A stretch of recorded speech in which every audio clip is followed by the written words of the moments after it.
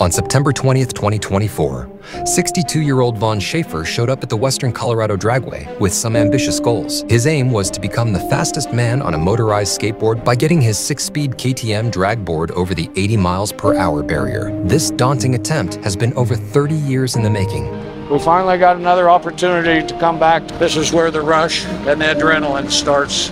oh man, you guys have no idea. We tested a private airstrip. We already broke the uh, world record, and we're going for bigger tonight. The pressure was immense as Vaughn and his team were given just one run, one chance to make history. This final event of the season was their last opportunity to leave a mark at the dragway, and with everything on the line, the stakes couldn't have been higher. My brother Sammy Houston passed away on September 2nd. Like everyone else on the board, including uh, King Louis, we're going to put Sammy on the board as well for today. After an emotional national anthem, the commentator introduces Vaughn and he lines up in position. You got this Vaughn, all day. Okay, clutch in. Clutch in.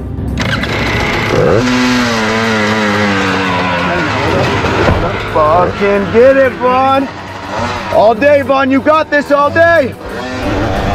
Keep it safe, Vaughn. You got this. All day, Vaughn. There you go, Vaughn. Keep it safe, Vaughn. Keep it straight, Vaughn. You're looking gauche. Oh, no. Vaughn had a great takeoff. He was in position to snag the record. Then, out of nowhere, the track jolted him to the side, and hit caused his leg to pull the dead man's switch out. This is a safety device to kill the motor when he falls off his board. Unfortunately, it popped off on accident. As a result, most of our team thought we blew the opportunity. Yeah, you got fucking... Fuck! Hey, it's okay, Vaughn. okay. Look at me. We're I fine. We're Got golden. squirrely. Let's let's get off the track.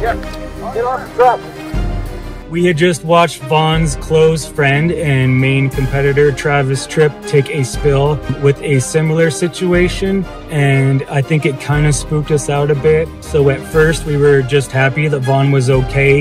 You hopped and you fucking slowed down, which is great, dude. Do not be embarrassed. That was fucking good. We went back to the pit to talk to Scott White and the rest of the crew. Fortunately, Nick Costello, aka Mr. Persistent, was able to talk them into giving us one more chance. Got it, Vaughn. Keep it straight. Keep it straight. Great job, Vaughn. Vaughn!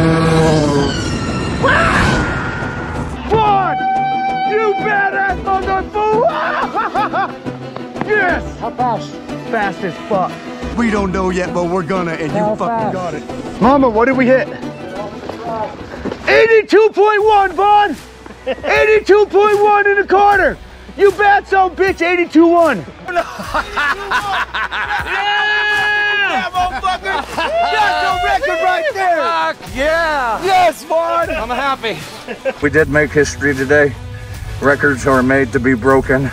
I'm just very happy that everyone's safe and I was able to do what I was able to do with the help of everyone as far as my team. You just did it, man. All right, let's go pick up my ticket. Yeah, motherfucker. After stopping by the ticket window, the boys were pleasantly surprised to find the speed was actually a bit faster than expected. 8246.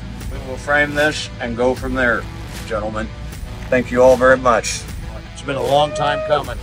1999 was the last time I was here to able to set a record at this track.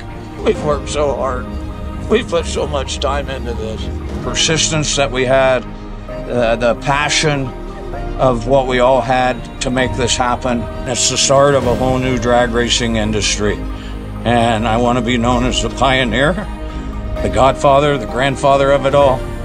That's for Lou Dog. That's for Mitch Neal. That's for Sammy Houston. And that is for Vaughn Shafer. 31 years of dedication. Come on! Woo-hoo-hoo!